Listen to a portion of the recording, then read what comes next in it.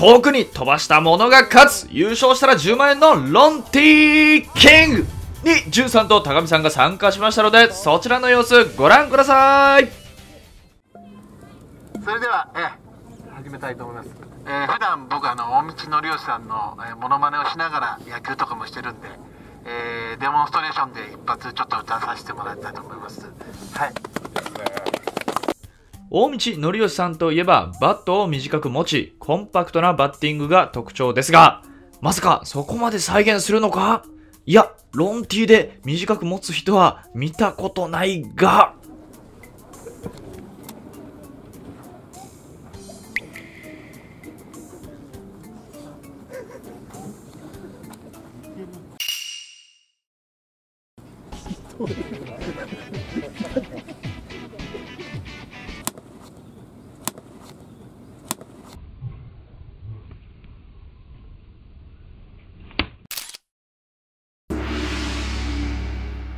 はい、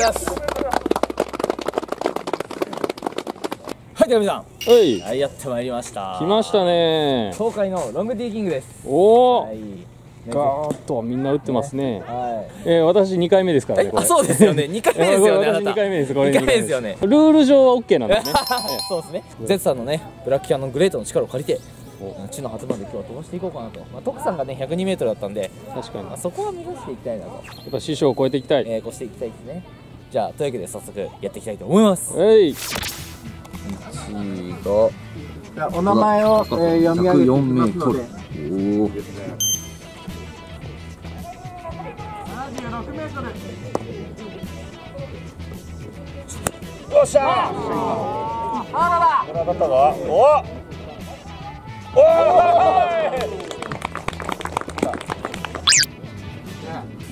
カニも飛ばしそうだ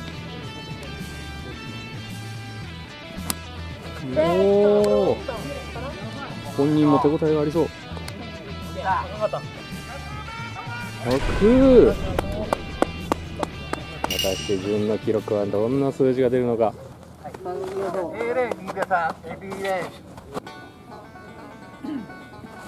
お。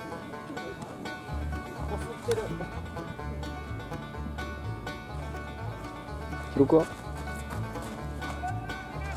72おこれはいいんじゃないか。来たか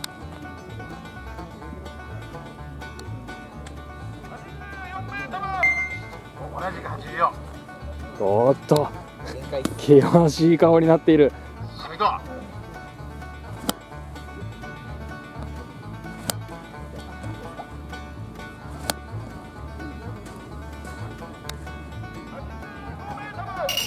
締めこ85出ました。ラストです。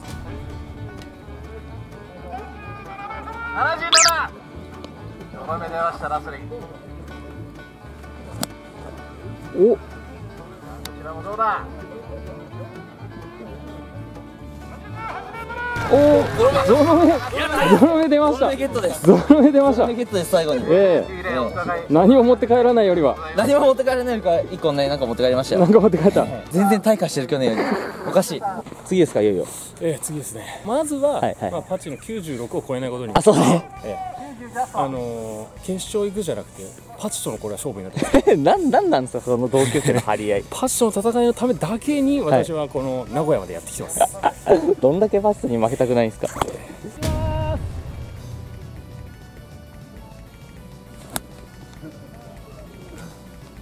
あどうでしょう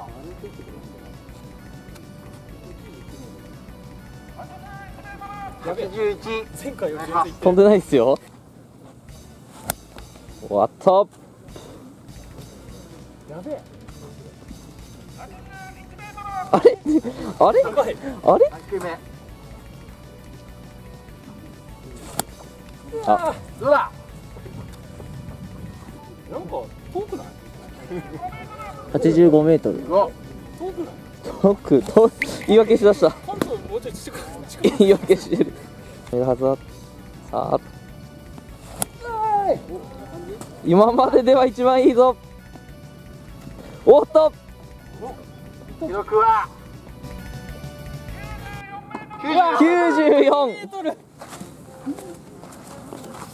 メートル負けましたねバチさんにいやー彼はすごいですね、認めた認めましたね負けを認めました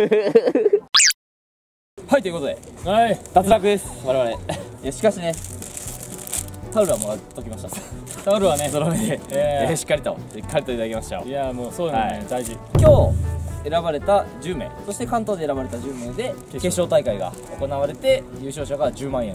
飛ばすっていうのももちろんだけども、自分が今どれぐらいの位置の確かにね。あれがいるのかっていうのが、こうはっきり分かったから確かに。この1年しっかりトレーニングして、来年はそれを超えるとということで今日はね東海のロンティーキング高見さんと参加してきました。